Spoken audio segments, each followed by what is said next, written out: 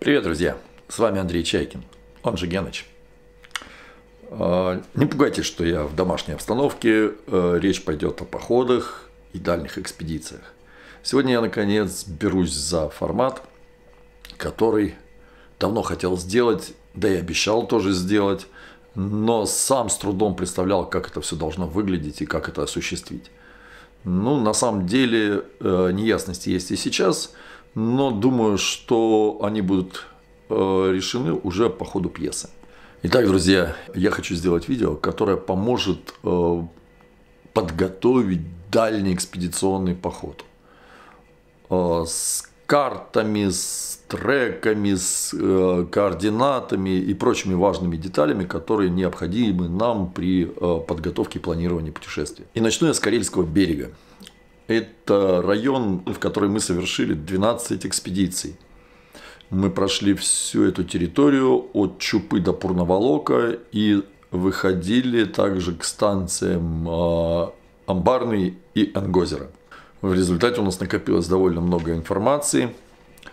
Да, вообще, э, раньше, до вот появления серьезных таких электронных всяких э, навигаторов, я готовил каждый раз вот такую вот серьезную тетрадку, какая толстая, э, с описанием всего маршрута, всей природы, там климата, даже истории региона, да, то есть вот бумажные карты, там все такое, да. Но сейчас с появлением достаточно таких легких и мощных электронных устройств – которые к тому же э, имеют устойчивость к воде да, и достаточно большой объем памяти, я э, перешел на электронную версию, и в бумаге я делаю только э, с карты и описание маршрута краткое. Вот, потому что ну, это как бы страховка. Основное, все-таки, основная работа идет с электронным устройством. И еще, учитывая то, что большинство людей э, при планировании путешествия ограничены временными рамками, рамками отпуска, я э, дам только короткую версию маршрута. Э, но, если честно, мы два последних захода на Карельский берег, то есть в 2013 и в 2017 году, мы использовали именно эту, эту версию маршрута. Вот она как раз вот укладывается в такие временные рамки, но и при этом позволяет все-таки ознакомиться с а, самим Карельским берегом. Ну что, друзья, а, давайте приступим к проработке маршрута.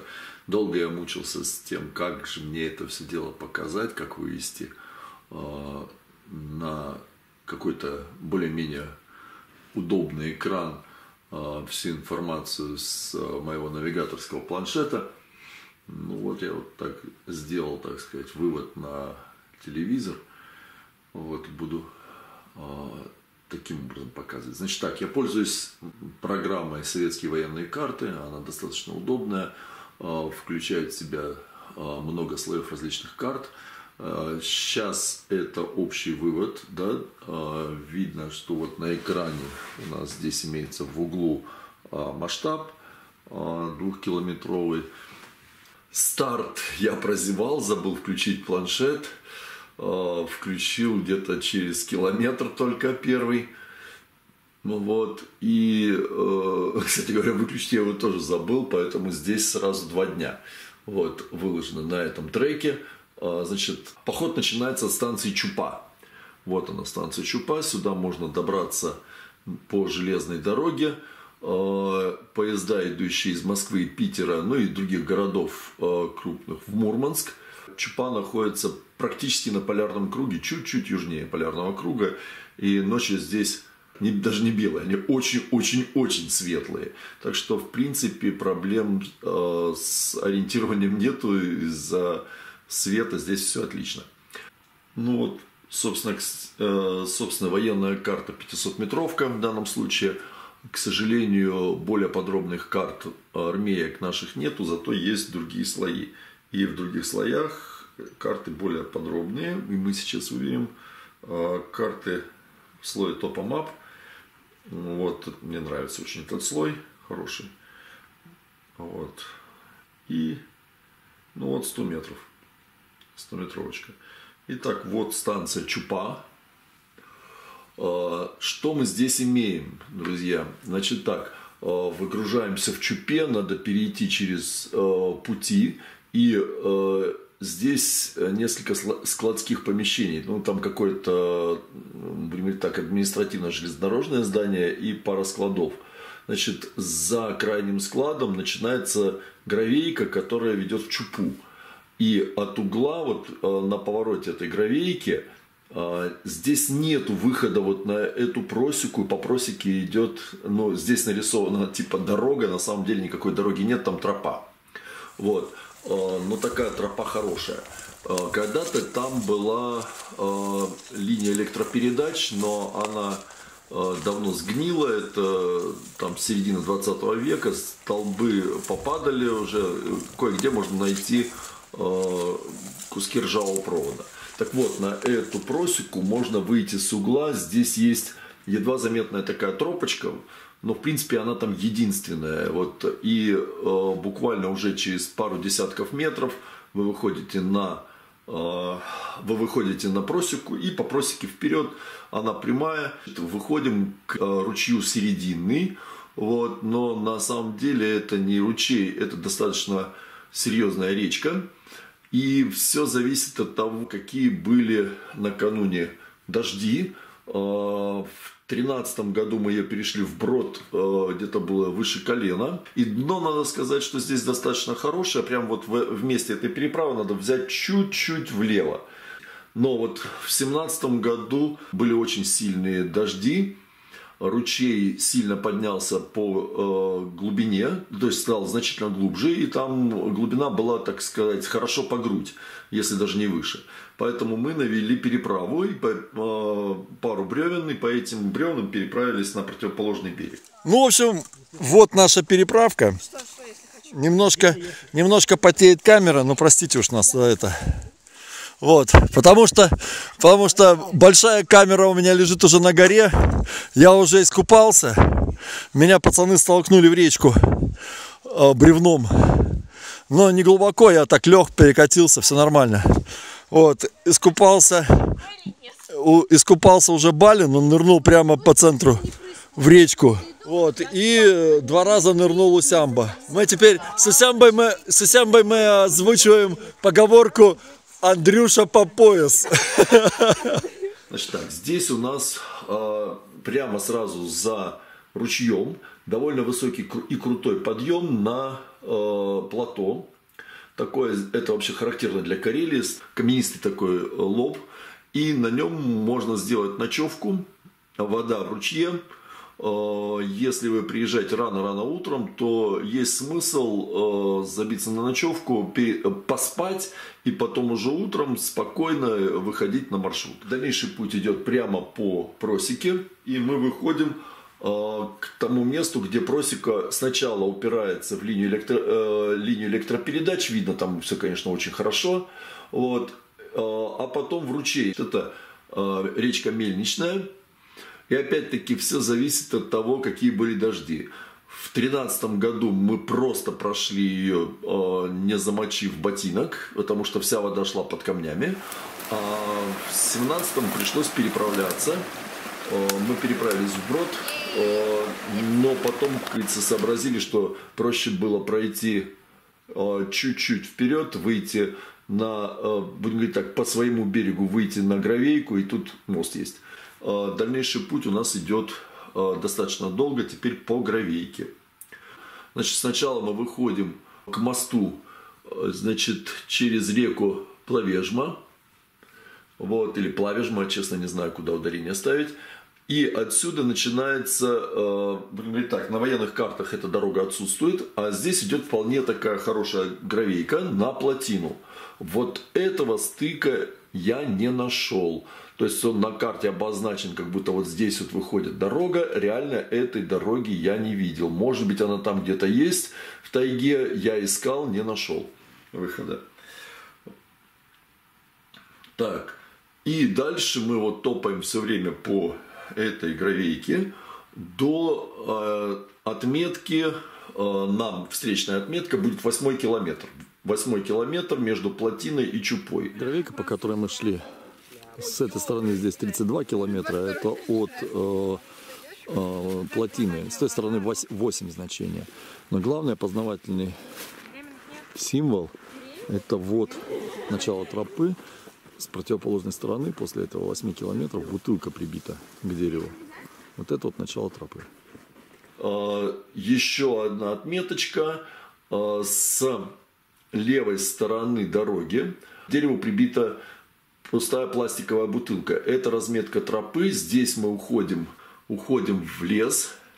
И по этой тропе выходим на ту дорогу, которую, э, которую я говорю, я не нашел, но здесь она видна как тропа. Это очень-очень старый зимник, который, видимо, использовался несколько десятилетий назад, э, потому что посреди вот этого зимника, посреди дороги растут деревья, ну, где-то сантиметров 20 э, в диаметре не меньше. То есть зимник полностью зарос, он очень глухо э, заросший, но вдоль его края, вот этого, э, скажем так, правого края идет вполне себе нормальная тропа, по которой мы дальше идем вперед. И следующий э, такой важный для нас, важное для нас место – это болото. То есть здесь опять-таки вот обозначена типа хорошая дорога, ходил, вот тут видно, я ходил ее искал, никакой дороги здесь нет. Вот я шел прямо по дороге, там просто тайга.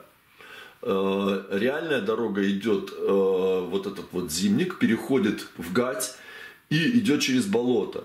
Честно сказать, э, я побоялся идти по этой гате, потому что там открытые окна видны, да, вот, и уж совсем такое, ну, зыбкое болото, поэтому мы по южному краю обходим болото, значит, дальше здесь вот у нас топомап не имеет информации, то есть они просто рисуют рельеф какой-то, и у них отсутствует растительность. На самом деле здесь все зеленое, тайга.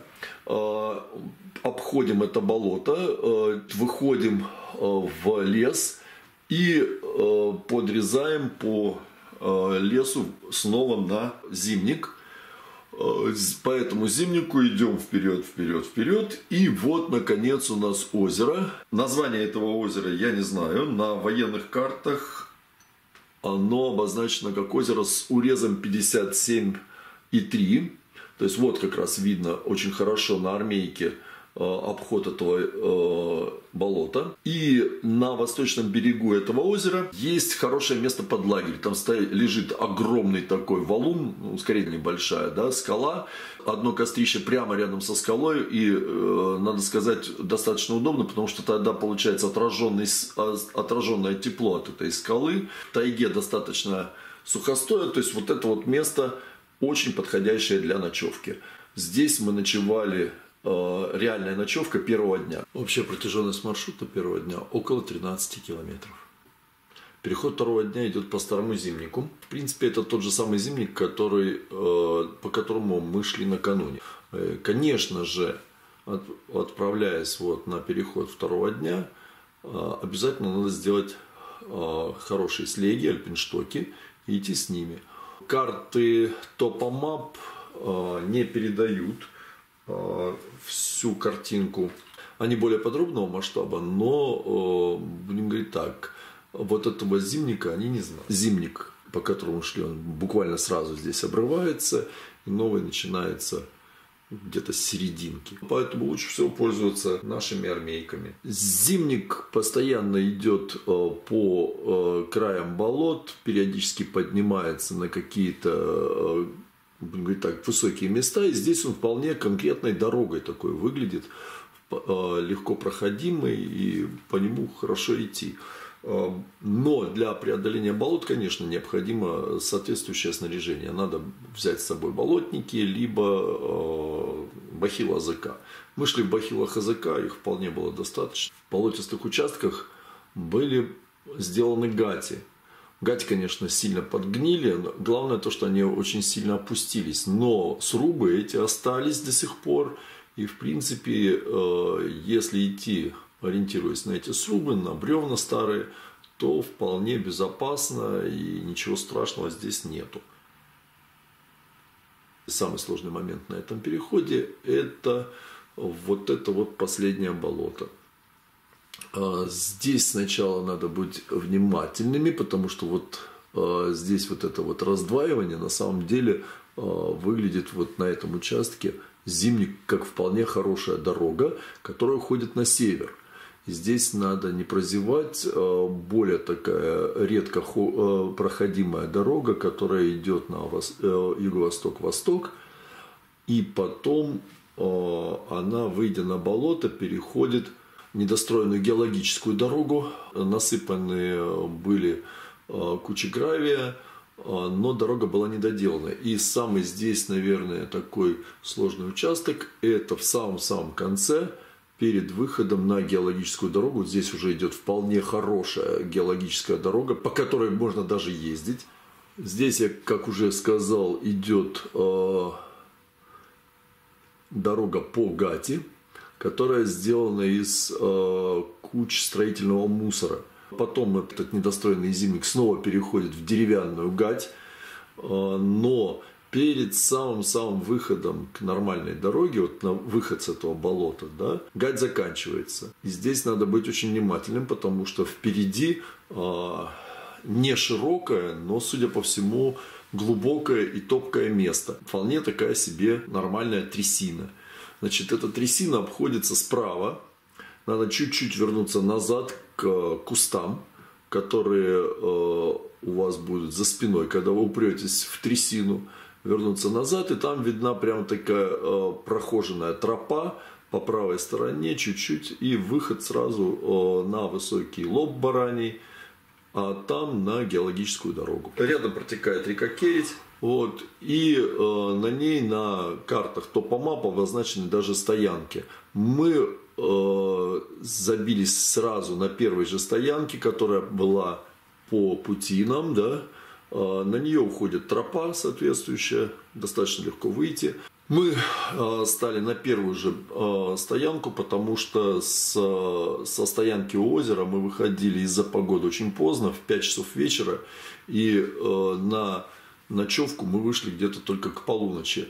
Вот. Но если уходить в нормальное время, то здесь достаточно много стоянок на Керите – вот они обозначены, полно. Единственное, что э, здесь я бы посоветовал сухостой взять сразу около дороги, потому что здесь он имеется около дороги, а вот непосредственно около реки э, с сухостоем э, для дров очень сложно, потому что это стоянки водников, и, э, естественно, вдоль реки они все вычистили. Итак, переход третьего дня. Нам предстоит довольно протяженный маршрут – выход к морю. Если э, идти от стоянки, первой стоянки на Керите после болот, это Павловский порог, то 21 э, километр. Довольно много. Поэтому есть смысл накануне, после второго перехода, становиться как можно ближе к мосту, чтобы сократить переход. Третий переход – это фактически выход к морю большая часть этого перехода проходит по дорогам, причем довольно хорошим дорогам. Это э, старые геологические дороги. Итак, э, выйдя со стоянки, мы по геологической дороге выходим на трассу э, Чкаловский плотина и по мосту переходим через реку Керить. Э, дальше мы немного проходим чуть-чуть в сторону плотины и прямо перед нами поворот влево и перекопанная дорога. Э, можно, конечно, пройти э, чуть вперед, выйти на хорошую дорогу, но смысла нет, если ты идешь пешком, лишний крюк делать, поэтому через этот перекоп ногами легко очень пройти. И мы снова выходим на дорогу, и это дорога, которая ведет на старый карьер. Мост через реку Луокса, и здесь медвежий порог очень красивый.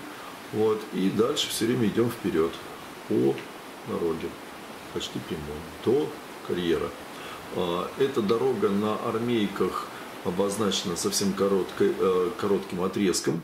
А, за Локсой она заканчивается, а, поэтому лучше пользоваться картой, картами Topomap. В данном случае масштаб 250. Зайдя на карьер, все время остаемся на дороге до развилки. Выходим э, раз, э, к развилке, там э, большой перекресток.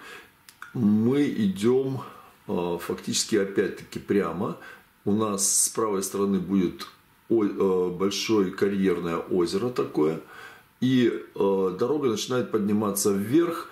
И с небольшого пятачка хорошо читаемая тропа уходит влево. Мы уходим именно по этой тропе к реке Керить выходим. Сначала идем по лесу, потом э, по заболоченному участку, такое небольшое болотце, поэтому болотники или э, ОЗК должны быть наготове. И далее вдоль реки Керить по бечевнику мы выходим просто к замечательной стоянке, которую местные называют Корюшка. Потрясающая красивая стоянка, но нам как бы стоять на этой стоянке нет смысла, а, потому как переход в самом разгаре. Далее а, со стоянки мы продолжаем движение вдоль реки Керить по Бечевнику, потом выходим к Заборному озеру. А, оно обходится по краю, здесь такой заболоченные, э, заболоченные участки идут в принципе, легко проходимая. Там даже не болото, а просто э, высокий кустарник такой, э, типа карликовой березы и э, голубики. Основная проблема это вот этот глубокий ручей. Ручей называется Качишный его лучше переходить повыше от э, заборного озера, потому что вот этот вот участок впадения совсем заболоченный, поэтому мы делали переправу самостоятельно. Но маловероятно, что такая переправа переживет паводок весенний. Скорее всего, ее уже нету. За э, ручьем Качишный э, легко выходим э, снова к Керите и к домику рыбнадзора – за домом рыбнадзора тропа идет опять вдоль э, реки, вдоль порога Заборный и выходит к губе Керить, это уже море. На противоположной стороне поселок Керить. Как я понял, он э, сезонный, то есть там постоянно жители не живут, но там есть рыболовный дом, там несколько дач и стоит часовня сделана. Да? Когда-то это был очень богатый и большой поселок э, одно из э, хозяйств Соловецкого монастыря, то есть это ну, реально поселку много столетий, вот, и там даже порт был большой. Дальше картина у нас будет выглядеть следующим образом. А, здесь идет такой довольно обширный луг, видимо, это покосы села Керить. И э, дальнейшее мы выходим на берег Керецкой губы и э, ситуацию оцениваем следующим образом. Если отлив, то лучше всего идти по берегу губы. Если прилив, то проще идти по просеке, которая там имеется. И для этого лучше загрузить слой OpenStreetMap. Э, он удобен тем, что на нем обозначены просеки. Здесь когда-то шла старая линия э, телефонная, видимо, которая шла на остров Керить. Э, если сильный прилив, то есть вот э, самое его начало, потому что здесь ход воды порядка двух метров, а в сигизийный прилив и все три будет. То есть довольно высокий, высоко поднимается вода. И когда полный прилив, то буквально вода подпирает вас под склон. Поэтому лучше идти по вершине склона по тропе, которая идет по просеке. Тут достаточно высокий кустарник, тоже не очень удобно, поэтому если есть возможность, то лучше, конечно, двигаться по берегу.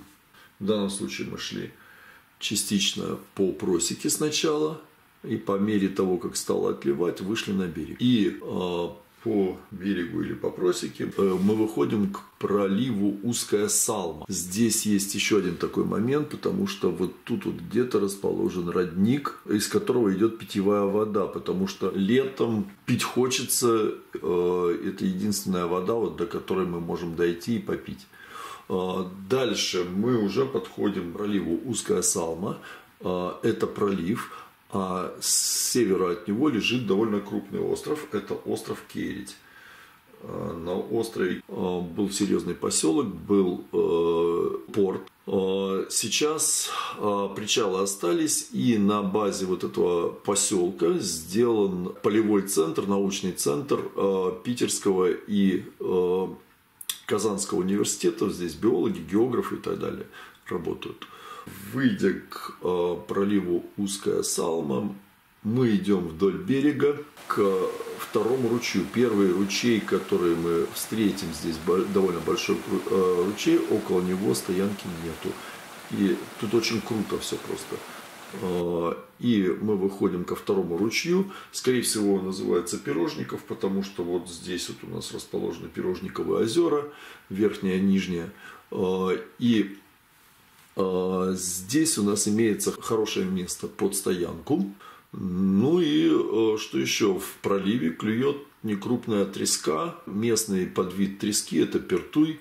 Э, она такого оливкового цвета, не очень крупная, но зато очень вкусная. Здесь, на этой стоянке, мы э, обычно останавливаемся на дневку. И вам я также это рекомендую сделать, потому что э, дальнейшие переходы у нас будут идти вдоль моря. И э, желательно, чтобы э, переходы делались во время отлива тогда удобнее идти. Поэтому лучше стать на дневку. Во-первых, э, три ходовых дня. Отдохнуть уже пора. И надо поймать э, режим приливов отливов, потому что они каждые 6 часов 20 минут меняются. То получается, что каждые 5 дней режим приливов и отливов сдвигается на час. Итак, четвертый переход – четвертый переход или пятый день с учетом того, что у нас была дневка на летней губе. Мы идем вдоль э, моря и находимся мы сейчас э, в районе Кирецкого архипелага, в так называемых Салмах. Это южный берег Кандалакского залива, устье реки Керить, который мы уже прошли, и вот острова Керецкого архипелага. Наш же путь будет от узкой Салмы до летней губы. Так выглядит наш путь на Э, карте 500 метровки.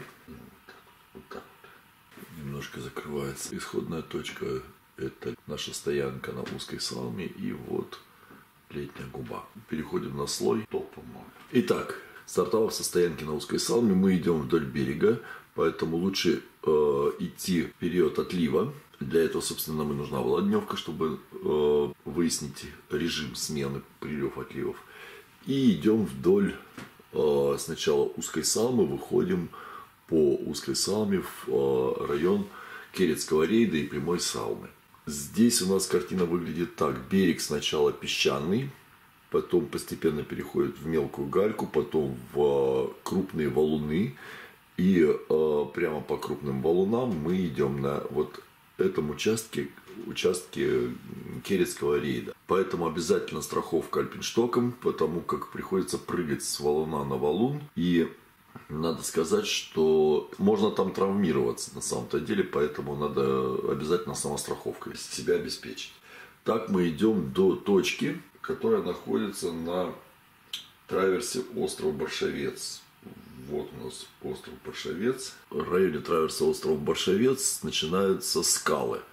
То есть теперь это уже даже не валуны, это э, прямо бараньи лбы. Сначала достаточно плоские, такие плиты уходят в море. Дальше эти плиты постепенно разворачиваются и становятся все более крутыми. И где-то от серединки траверса острова Баршавец надо э, подняться наверх на плато. Здесь мы пройдем часть пути по плато над морем, потому что здесь просто обрывы крутые. Перелезем через небольшой ручеек. Э, ручеек такой перешагнушка, но здесь рядом с ним э, такое моховое место, и надо быть внимательным, потому что ну, просто возможны щели между камнями, куда может попасть нога и травмироваться. Поэтому обязательно, опять-таки, самостраховка. И пройдя вертикали, мы спускаемся к морю, тут э, хорошо заметна медвежья тропка вниз. Опять выходим к морю и идем вдоль моря. Э, впереди видны очень крутые обрывы. Здесь есть ручей э, с хорошей водой, с чистой. Э, ну, даже это не ручей, а выход грунтовых вод. И далее, опять-таки, вдоль берега, под утесами. Поэтому в отлив надо идти, потому что э, в полный прилив вода вплотную к утесу подходит. входим в глубокую салму и выходим к Ежевниковой губе, э, мысу Ежевников. Вот он, И Ежевникова губа. Можно обходить, можно подрезать. Но там, как говорится, тут все хорошо видно насквозь. Такой достаточно прозрачный лес. Э, все это дело мы проходим. Э, устье небольшого ручейка. И на южном берегу Ежевниковой губы мы поднимаемся на скалы снова. Здесь довольно крупный бараний лоб но достаточно легкий подъем, просто террас таки. И мы идем почти строго на юг, пересекая плато. Путь достаточно простой. Плато, они таким закрыты редколесьем, достаточно редким сосновым лесом, с э, ягельниками, и идти достаточно легко. И уже от середины пути нам открывается вид на летнюю губу. Вот она.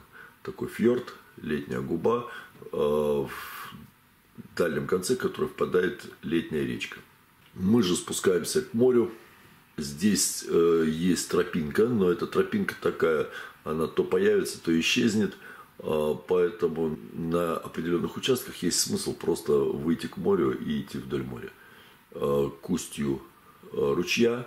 В устье ручья хорошо заметная тропа уже. Там выходишь на тропу, четкая такая ярко выраженная тропа. И здесь сразу за переправой, переправа по камням легкая совершенно – тропа раздваивается, нам нужно на левую.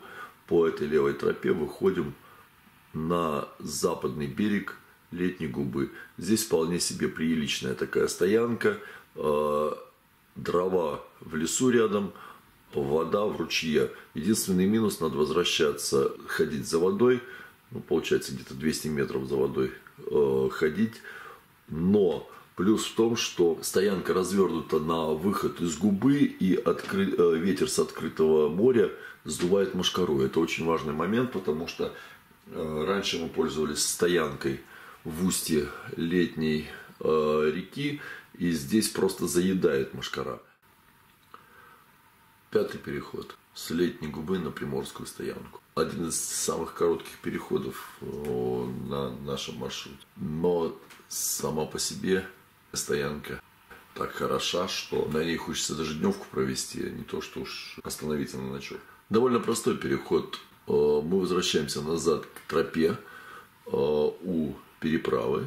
И по этой тропе уходим э, к дальнему берегу летней губы, идем вдоль моря до устья летней реки. В устье летней реки хорошая поляна и место под лагерь, но Наверное, только если вы идете осенью, когда мало комара и гнуса. Больно здесь заедает. Летнюю речку легко перейти вброд, но переходить надо как можно ближе к э, морю. Здесь речка становится шире, и течение у нее не такое сильное. В сухие годы в русле реки видны деревянные лотки. Здесь когда-то был лесосплав в середине 20 века. И э, сплавляли э, лес озера Летнего, на котором был шлюз. Вода поднималась, накапливались бревна, и потом э, шлюз открывали. И вот по этим лоткам с сильной водой бревна просто выносило в э, летнюю губу. Бревна очень скользкие, поэтому э, даже напротив стоянки – ну, не стоит переходить через реку вброд, потому что можно легко упасть и травмироваться. Так, дальше мы идем вдоль берега Губы, а, выходим к еще одному месту под лагерь и набираем высоту, залезаем на плато и идем прямо вдоль а, по верху по плато. Значит, наверху плато прямо напротив э, нашего лагеря ночного на западном берегу. На восточном берегу, наверху плато, есть э, тур. И э, в районе этого тура ловит мегафон. Это очень важный момент, потому что можно какую-то связь, там, смс послать или даже позвонить. Далее мы продолжаем путь по плато. Правда, есть места, где приходится спускаться вниз и снова подниматься. То есть вот место спуска, подъем, снова на плато, опять спуск к морю. Здесь вот видно даже, что мы идем по отливной полосе. И далее идут такой террасы, почти ровные террасы плато. По скалам топаем на восток. И спускаемся к Ваньковой губе. Вот она, Иванькова губа. Здесь э, довольно большой такой скалистый мыс, но его в принципе, несложно обойти. И лесом в глубине Иваньковой губы находится, вот где-то вот здесь находится рыболовный дом. Но вот когда мы были в семнадцатом году, он был нежилой, то есть там вообще никого не было, да, то есть он был заперто, закрыто все. Вот, ну, видимо, он такой сезонный характер носит и э, приезжают, уезжают.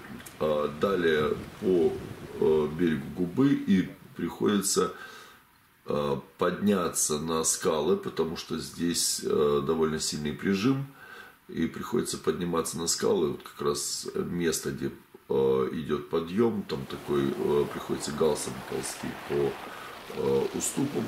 Далее по плато, спуск, снова спуск со скал и выход к стоянке. Речка обозначена, что впадает перед, э, перед стоянкой, на самом деле, она впадает за стоянкой. Стоянка очень хорошая, вода э, рядом, очень много сухо, сухостоя на скалах, вот здесь вот, да, ну, клюет треска. Итак, очередной переход. На этот раз мы идем вглубь континента, и э, наша цель – Никольская губа. Так выглядит наш маршрут на генштабовской карте. Итак, с Приморской стоянки мы уходим вдоль берега, обходим небольшую загубинку, выходим вглубь губы. А, не знаю, как эта губа называется, не исключено, что название ее Соколка. А, ну, по крайней мере, так я слышал от местных. Далее, в глубине губы мы начинаем углубляться в лес. Здесь плавный достаточно подъем идет такой, постепенно уходим на плато. И стараемся держаться к югу. То есть э, южное направление. И таким образом идем по, э, периодически поднимаясь на такие открытые плато, потом спускаясь в тайгу, мы выходим к довольно крупному болоту. Болото это обходится по э, западной его стороне за болотом довольно крупная гарь. Мы ее также обходим и выходим к губе, которая называется губа ос Осечкова или отсечка. Здесь вот в глубине э, губы стоит рыбацкая избушка. Губу обходим, здесь хороший бечевник. В глубине губы э, когда мы подходим уже к бараньим лбам, мы уходим от берега. Сначала идет неплохая тропа,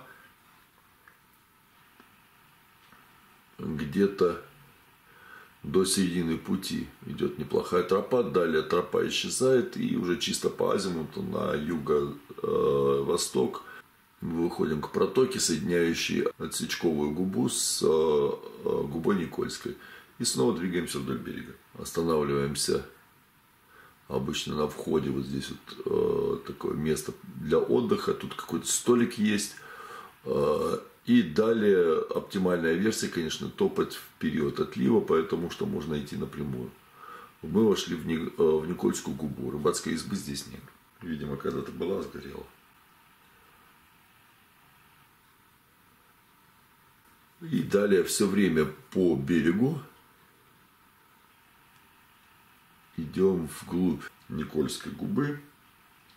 Недалеко от устья Никольской речки есть хорошая площадка под стоянку. Здесь мы поднимаемся, здесь кострище, все такое выложено. И здесь останавливаемся на ночевку. Прямо над устьем высокий берег. И здесь есть неплохая баня. Здесь мы обычно становимся на дневку очередную и э, паримся в баньке, потому что вокруг достаточно много сухостоя, банька протапливается и здесь мы отдыхаем. Наша дневочная стоянка расположена недалеко от устья э, речки Никольской. Если пройти вдоль реки, во-первых, в самой речке э, есть ручевая форель, а дальше лежит довольно протяженное, длинное такое озеро вытянутое. Само озеро я видел, но не ловил там, хотя один местный житель, правда, давно говорил мне, что здесь неплохая щука.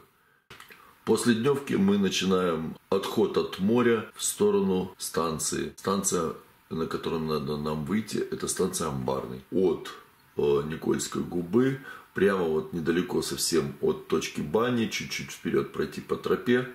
А, здесь тропа идет, вот, как говорится, бечевник, который идет на длинное озеро. Вот. И вправо от него отходит тропа. Вот по этой тропе все время вперед. Она одна, спутать сложно, хорошо натоптанная. А, правда, а, поднявшись на плато, она спускается к довольно большому болоту. Будем пользоваться а, картами Topomap. Они достаточно толковые, более подробные, скажем так.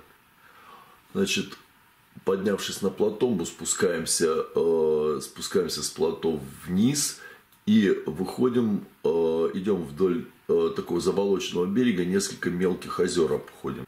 И тропа э, на самом деле хорошо такая натоптанная, местами даже переходит в такой гать небольшую. Правда, по заболоченной местности это не то, чтобы совсем болото, а так вот такие хляби, сырость. И тропа выходит на вполне себе конкретную геологическую дорогу. Просто вот выползаешь прямо на нее. И далее, все время по дороге, перейду снова на Кенштабовки. Между озерами вот здесь вот э, стоит э, небольшой, небольшой домик рыболовный, но, э, если честно, э, человека я в этом домике видел только в 2000 году.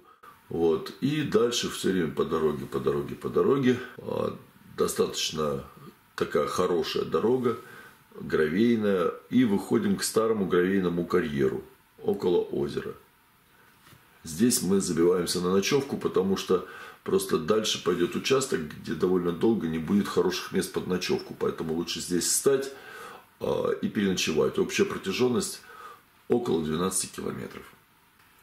Далее со стоянки от карьера мы выходим через гравийные карьеры э, к озеру Большое Крохино – и далее все время топаем по дороге. Дорога очень неплохая. А, дорога подсыпанная. Есть участки болот, а, где дорога а, твердая, все четко, хорошо идется, но есть участки, где она просто залита водой, потому что ну, произошло опускание почвы, и вода с болот затекает на дорогу, и там глубина где-то по колено. Поэтому, опять-таки, бродни или ОЗК бахилы должны быть наготове все время идем по дороге. Тут, в принципе, переход никаких сложностей. Топаем, топаем по дороге. И наша цель речка Каменная. Перед мостом поворот вправо. Э, хорошо наезженная такая дорога выходит на стоянку, правда, э, стоянка рыбацкая, с одной стороны есть такая изрядная куча мусора, э, но в целом стоянка достаточно чистая, хорошая и на стоянке Кострища, в принципе, можно поставить достаточно много палаток, хорошее место. Общая протяженность где-то 14 километров. Продолжаем переход, снова выходим на э, уже знакомую нам дорогу. И по этой дороге опять все время на юг.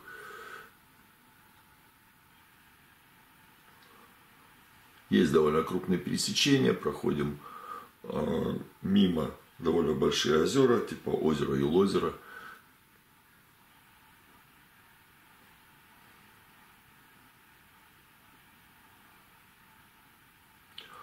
На этом участке довольно много будет вот таких вот мест, где грунт внутри твердый, но с болот затекает вода, потому что э, просто э, полотно дороги просело со временем, никто же ее не ремонтирует с советского времени, как вот там лесозаготовки велись когда-то.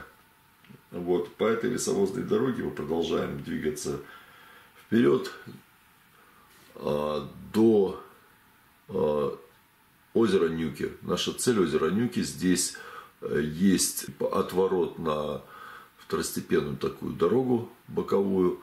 А, хотя, в принципе, можно просто сориентироваться по проплешине вырубки большой. И выход на озеро Нюки в его западной части, юго-западной части, довольно такой светлый открытый лес хороший. И здесь мы забиваемся на стоянку, ставимся на ночевку. И на дневку. А, цель этой дневки, э, будем говорить так, помыться, почиститься перед поездом.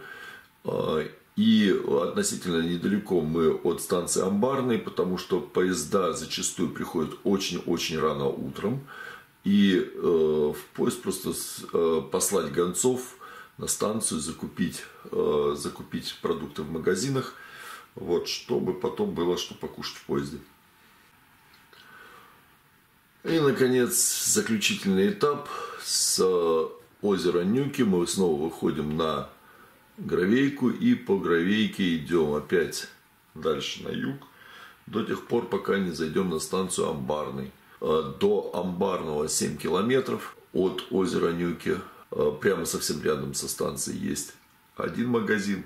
И, по-моему, за железной дорогой вот здесь вот где-то еще один магазин есть.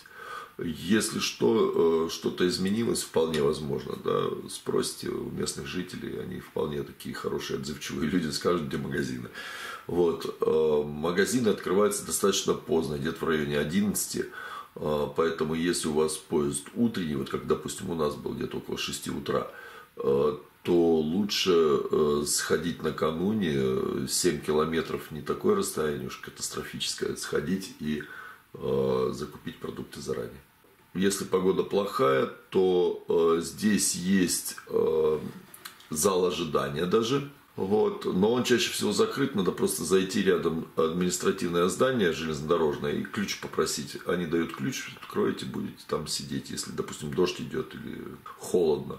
Э, заодно э, скажете, что вот вы пришли пассажиры на поезд. Э, есть смысл, потому что в амбарном поезд останавливается на одну минуту, чтобы вот стояли там, допустим, флажок держали, пока вы не сядете. И все, путешествие закончено.